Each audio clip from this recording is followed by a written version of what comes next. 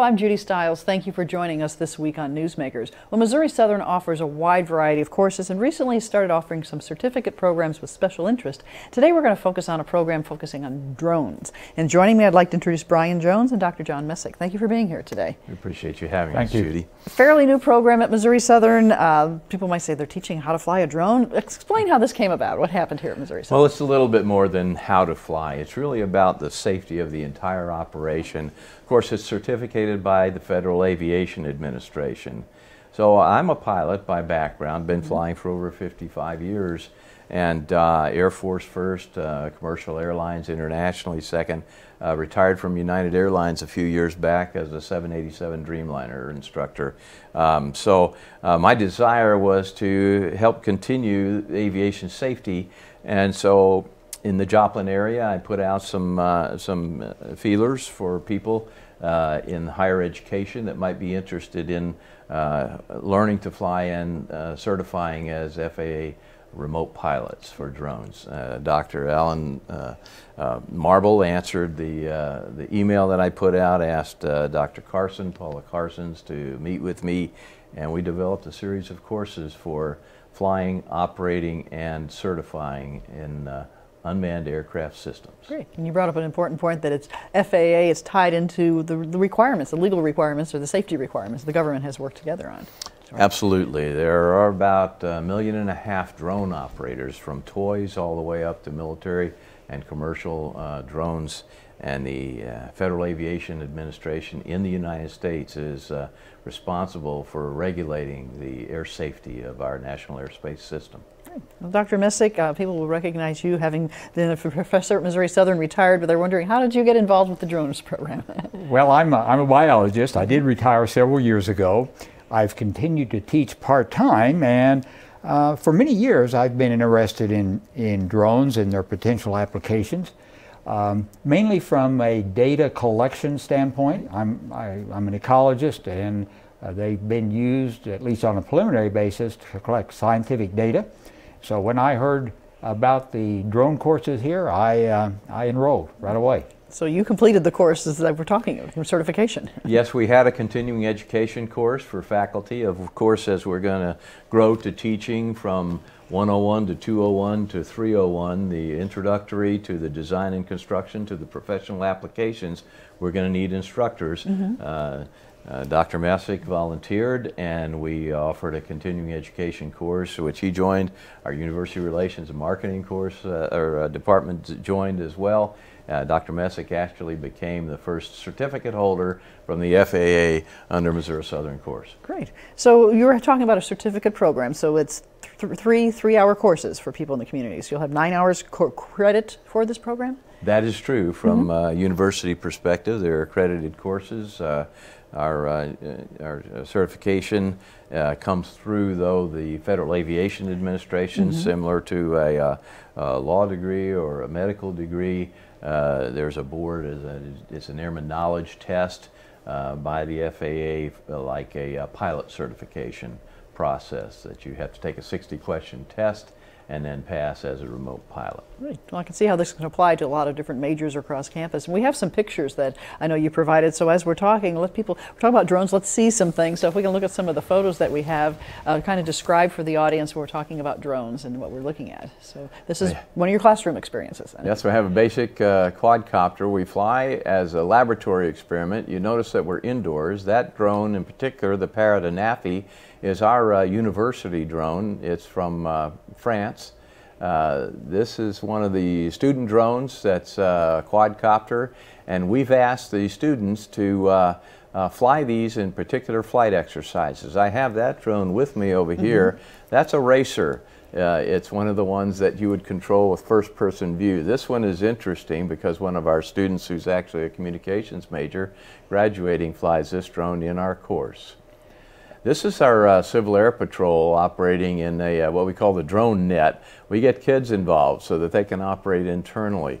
And this is one of our local uh, flying clubs. Uh, they operate as a uh, as a flying uh, club under the AMA. This, I think, is a course we taught just for recruiting, introductory before we started the 101 course, and many got involved. Again, our Civil Air Patrol uh, and the uh, AMA, the Sky Kings local Webb City Club, uh, RC Club, that operate under uh, uh, Section 538 of the FAA as model aircraft operators. Uh, there's a great interface between the FAA Remote Pilot Certification mm -hmm. and the Model Aircraft Association, Aeronautical Model Aircraft Associations around the country so that the FAA can be involved in the regulatory process of all of the systems that are flying, occupying our airspace. And I see the community ties as well. I imagine there are a lot of people just in the community interested in this type of program as well. That, that is correct. And, you know, in, in terms of our, our students and the many disciplines drones might have mm -hmm. applications in, uh, a lot of graduates these days have similar qualifications, but having this certification, this certificate uh, in drones may just give them a credential that not other graduates have. So, so it's a course important. that will enhance their major. They that's could take right. this as a certificate to enhance that major. Your background with biology, you mentioned that you mentioned about research. If somebody's going to be in the field, as we say, doing research, they can use that drone to follow those uh, animals, whatever they're looking at. You know. Yes, and, and vegetation analysis in mm -hmm. agriculture, uh, locating, um, you know, uh, outbreaks of disease and pests in mm -hmm. in agriculture crops uh, can do that much more efficiently than in more traditional ways.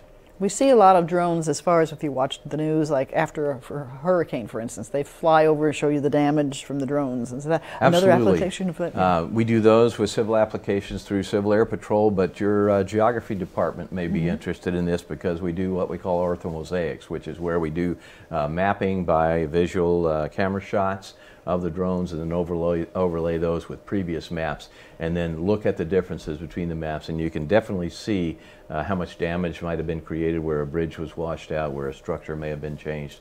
Uh, there are a ton of applications for uh, uh civil relief uh, programs, uh, even deliveries mm. that we haven't mentioned. They're ongoing and right now already starting in the United States uh, in various test areas where we can deliver medical supplies and even under COVID uh, test capabilities to laboratories and, that, and the like. So when the roads are out or you can't get to a community, you can use a drone to bring in help and supplies from We can people. fly. fly that way. You can always fly. So talking about the courses, then we have 101 is basically your introduction course. This is a drone and what it does? We're just finishing up our first semester, SUAS 101. John uh, is going to teach that course this coming semester. Go ahead. Well, it's, it's a overview of mm -hmm. drones and their applications with some emphasis on the FAA uh, certification requirements. Right.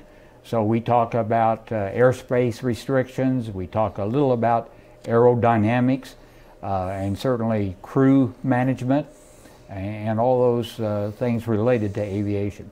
Now, I noticed in the pictures you had earlier, there were so many different types of drones. You're yes. able to maybe discuss all these different types and how they're different or similar? Or? We'll get into, in the 201 course, it's called Design and Construction, but it really is a purpose-oriented application. So uh, students can choose what purpose they would like to apply, and then they'll be able to design an unmanned aircraft system to be able to fulfill that purpose. For example, over here, when we get to look at some mm -hmm. of mm-hmm. our toys, if you will, our show and tell, we have everything from quadcopters to fixed wing aircraft. And if uh, I've even got a swing aircraft that takes off vertically and then goes to a fixed wing straight and level configuration, for example, taking off for transportation delivery or an agricultural survey. So that's their understanding of if I want to do this, this is the best tool or the best drone to help accomplish this goal. That's right. trying that together. And then uh, when you're talking about the actual hands-on flying, I know we have some video as well, which I think if they can call up the video, where your class is an active participation class. You're not just learning the theory, you're applying it. Absolutely. We have one hour of lecture and two hours of laboratory each week. Mm -hmm. So each of the uh, students gets an opportunity to pilot through flight exercises and even mission exercises where we put purpose-oriented objectives into the flight exercise. Here they're flying a, a search and rescue exercise. As you see, uh, we're, we're fully equipped in our safety regalia. Uh, you can see that the uh, pilot operating has a view of what the drone is seeing, but that pilot, if you look at them, they're looking straight at the drone. So they're not they watching that video screen, they're looking the at the drone. Mm -hmm. And we have a second member of the crew, we teach crew resource management, who is monitoring for safety and for the visual picture on the screen. So the hands-on is the, the coordination a big part of it as far as pushing the right button at the right time, I guess in layman's terms. Well, Dr. Messick's actually going through the course in preparation for teaching the course next semester. So, well, yes, it takes skill to operate mm-hmm. a drone, and, and perhaps uh, younger individuals that have grown up with video games have an edge over those of us that didn't. Mm-hmm. Uh, but it does require practice, and I've enjoyed seeing some of my skills improve. I think I have a ways to go. uh, but you're inside here in this facility, obviously. So this is an indoor facility at Missouri Southern you're able yeah, to use? unfortunately, we didn't have many videos. I think I forwarded a few, but uh, uh, we were very busy when we were outside, and we were uh, specifically uh, on a mission to take some camera shots, and we're saying goodbye to graduating seniors. And so uh, Ryan Story of your own uh, department here mm-hmm. is uh, piloting the drone. we're in the student environmental shelter uh, right now because that's our backup. Today or that day, we're showing the picture. It was raining and it was very high winds. So uh, we're indoors. Thank you for the facility, uh, Missouri Southern. So that's a nice big open facility for you to be able to have that program. Absolutely. Right? Normally we would fly outside on the mm-hmm. practice athletic field. We've called it the Flying Lion Drone Zone. And when the winds died down and the camera uh, or the uh, stopped raining, we did actually go outside of the facility to take these shots, and we're we're waving goodbye to our graduating seniors. Go Lions! Yeah, so that gives you an opportunity, I guess, control-wise. When you're indoors, you really have to be precise and make sure you're not going to bump into the walls or the chairs, and you know, teaching that control aspect. And, and we also have uh, the advantage of using a drone simulator mm-hmm. uh, to practice flying without actually using a drone. Oh, okay. Um, it's a very sophisticated application, and, and again requires lots of practice to avoid crashes. Mm-hmm. Part of our homework assignments are 15 minutes a week of uh, flying, and we can allow them to do that with their own drones. Students come with a drone of any variety they want to. Uh, they can fly with their own drones or they can fly on the simulator. Part of the course is we enroll them in a, a full-scale uh, simulation program uh, which allows them to have a controller which will then be applicable to the second course and then uh, fly in a simulated drone flying environment. So their opportunity when they start the course, if they have that drone, they can start applying it, learning how it works. Absolutely. Together. So no matter where they are, no matter what the tying weather. that together. So, yeah. well, you mentioned you had some drones with you. So if you want to uh, walk, if you walk over here, we'll take a kind of like show and tell, as you said, and let the audience see. Because people think of drones and they maybe think of the, what we saw, the ones that had the four, you know, the propellers. But there's so much variety. So they're probably wondering, you know, what are the choices, or what are the? Well, I guess more importantly, what are the applications to the different choices of what you have? So we have a microphone on the table, and we'll staging for a moment, but. I'm going to pick up a microphone over here. And so this is the fun part. Um, this is the part that brings students hopefully to our class because we're not just teaching all the rules that you have to have to pass your FAA test and get remote pilot certifying. We're teaching you how to fly, design, construct zone, uh, drones, unmanned aircraft systems, which of course consist of the actual aircraft, the remote controller itself, and then all the information transfer systems and the human interface amongst not only the remote pilot, but the people that are involved in the operation altogether. So uh, let's start with the controller right here. It's a standard like a Game Boy type controller. Mm-hmm. Uh, you have two uh, joysticks here which operate the drone both laterally and vertically and allow it to yaw so it's turning in directions. So on these drones, we are having uh, quadcopters as the primary uh, first application, which is just a rotary wing aircraft. This one is one that uh, Ryan Story uh, decided to use for hers. She's got two for one, so she can actually maneuver these drones at the same time with someone else uh-huh. uh, against each other, and they put out a uh, remote signal, an mm-hmm. infrared signal, and try can shoot each other down. And so, if the remote signal hits the drone in front of it, it kind of circles around, and the third time it hits, that drone actually goes to the ground, not violently, so but kind has of drone to, dogfights uh, puts almost. its motor, and they have drone uh, uh, air defense maneuvering and uh, dogfights. this one was the racing drone that you saw in the uh, the video earlier. This one is operated by what we call first person view. You can put goggles on, and the goggles have a projector in the front of it, and the projector will show the camera the picture of the camera that the drone is seeing. So you're actually taking on a view as if you're in the drone You're itself. the drone as it's flying. They do this in racing, drone racing, where they mm-hmm. compete against each other with obstacles. Unfortunately, this has very few applications towards certification as it stands right now because in Part 107, which is the FAA certification program, is safety of flight, you have to keep direct visual contact with your drone as a remote pilot.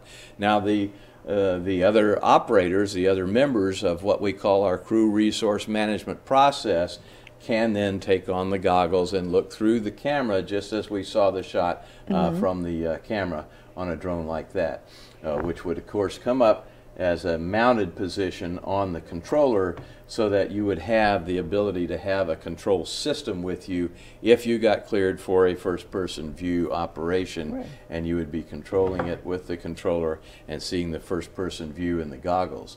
This drone takes a transition from a vertical takeoff to a straight and level flight. And in that would allow it to do large scale mapping and surveying types of operations. For example, agricultural crops or uh, uh, ranching, you could count your cattle, et cetera, et cetera. Now, this one does the full scale uh, straight and level flight. Just like a so this is a would fly. fixed wing configuration. Uh, we will go into course two to allow uh, our students to design and construct fixed wing configurations. This one is very close to my heart because I started my Federal Aviation Administration uh, as a sailplane pilot, as a glider pilot. And this one, although it has a motor on the front to help it fly, it mostly glides. And so it would operate in the thermals and the rising air currents just like a bird. But it has the ability to remotely control it through the ailerons, elevators, and the- rudder. So you're like piloting it from the ground, right? through a control system uh, like this. Now, this is a standard drone configured control system like your uh, game systems that you would use with two joysticks and a number of buttons that serve special purposes. This is an example of some of the things that our students may be interested in research and design. This is by a former astronaut and uh, uh, now current uh, physician, uh, Scott Parazynski, a company called Fluidity Technology down in Houston, Texas. But our university has purchased this because it is a single handed piloting system. it's a joystick control of system. operation. Mhm. So the pilot can, with one hand, and if I had had this mounted, I could hold the mic and fly my drone at the same time because now I have, just like I flew fighter aircraft for the Air Force, go forward, uh, pull Mm-hmm. same up, type go of down, understanding. go left, go right, and then I have my throttle or my thrust uh, vector right here in my thumb. So everything in one hand. So, Yes. So that understanding of all the variety, and of course you have nice the cases for protection of carrying them, and what's We have much- we have cases uh, for uh, keeping the drones safe. Uh, one of my favorites is our own university, uh, Missouri Southern's uh, drone, the Parrot Anafi that we just showed. And I can't hold the mic and do this at the same time, so I'm going to lay it down on the table. This is a backpack configuration. I could put it on backwards, uh, unzip it, and then in a remote operation out in the field, take this drone out, assemble it, and operate it very rapidly. This drone is very uh, uh, compact. Uh, the quadcopter motors are attached to legs that come out. I hope this click isn't making a terrible noise in the microphone, but this operates with propellers that are flexible enough yet strong enough to provide the propul- propulsive force necessary. And as you can see on the front, its primary payload, that is what the drone is carrying to operate or to accommodate its mission, is a camera that camera is the key to being able to see what you're high resolution, highly capable camera. And of course, I have a control device similar to that one to operate it with that I can mount my phone system. I'll pull out my telephone system, just my little. Uh, You just use your uh, cell phone? Phone, my cell phone, and then I would add it right here onto the remote controller, and I'm ready to go out in the field. The remote controller turns on as soon as you turn this on. I have a wire just to uh, reduce the amount of signals that are going out into the atmosphere to connect directly to my video picture. But that uh, signal from this control system, and I'm not going to turn this on for safety purposes indoors, but it goes directly into the drone to control the drone, and then a downlink telemetry from the drone comes back into the camera system, and then records the signal and allows you then to operate the mission. Wow. This is the university's drone, which all of our students are learning to operate mm -hmm. in the mm-hmm. mission applications and learning how it operates in the design and construction phases. Great. And if people have seen the Missouri Southern website, they've seen some drone shots of the you know campus, and those have been taken with these type of. I hope so, and I'm and I'm just offering that uh, we are not limited by the types of uh, of uh, careers or the types of applications that we offer in the catalog.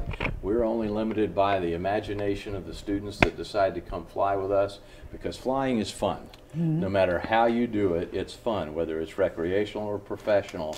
And we have a, uh, a direct connection with a, uh, we're a hybrid course, uh, a distance learning capability through the Unmanned Safety Institute. And that Unmanned Safety Institute uh, links you into professional certifications beyond your FAA certification so that you can get directly involved in the workforce, into uh, careers uh, by their placement programs and their certification and uh, credentialing programs. Great, well, great.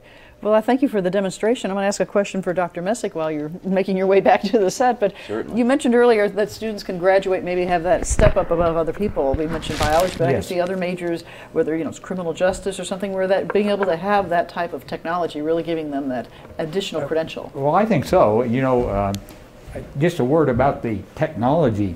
Uh, my first drone was a first generation drone. Really, uh, controlling it was difficult. It wasn't very stable at all. Uh, for this class, I purchased a current drone, very stable. And that is due primarily to the software and the, the control features of the drone. So, for example, in computer science, I think there are outstanding opportunities to develop programs and control of drones. We now have such things as geofencing, so drones can avoid collision with objects uh, will return to where they started from.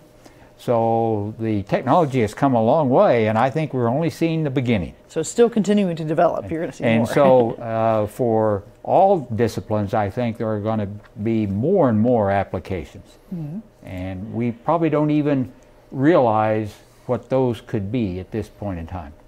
I, you mentioned was up to the, what the student's imagination, so that leaves a lot of possibilities. Absolutely, and I would mention that uh, both of our last two uh, presidential administrations, through our pilot initiative programs and the Department of Transportation, which the FAA is under, have called this the next generation of aviation, the operation mm -hmm. of unmanned systems.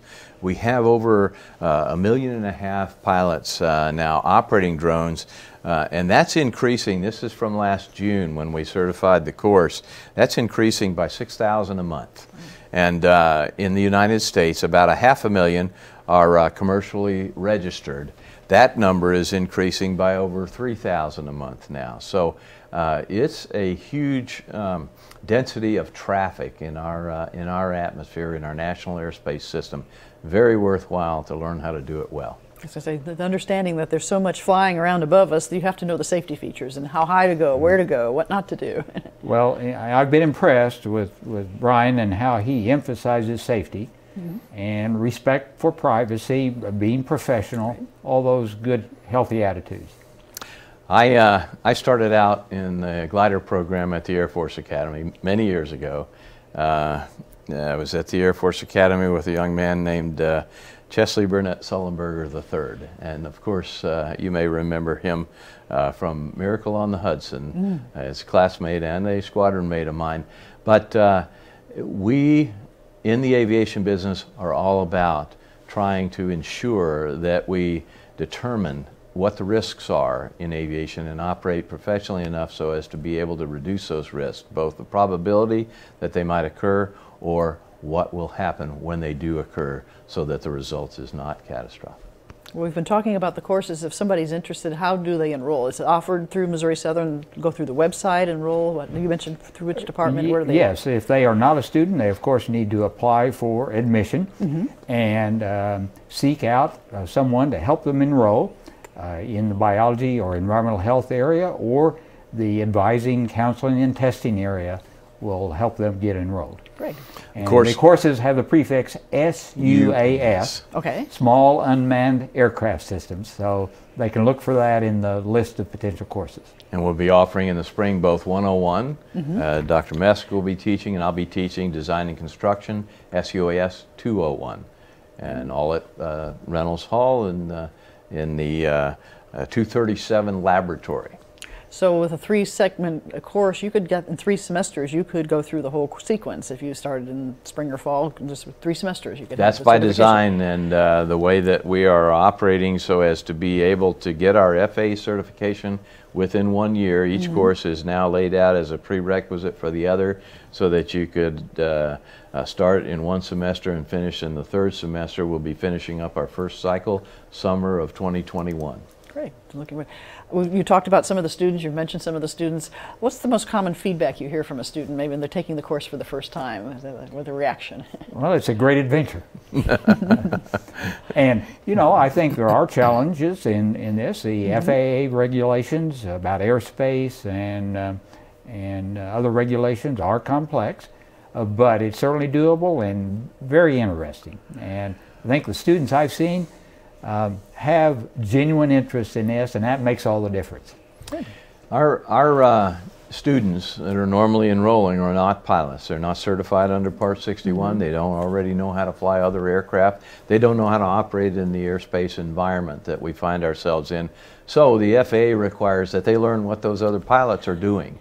And so that's where I come in as to be able to offer the background, the benefit of the experience, so as to be able to make the translations between the detail, the technicalities of all these, these myriads of regulation into what's important to a remote pilot operator. And remember, the remote pilot is still a pilot.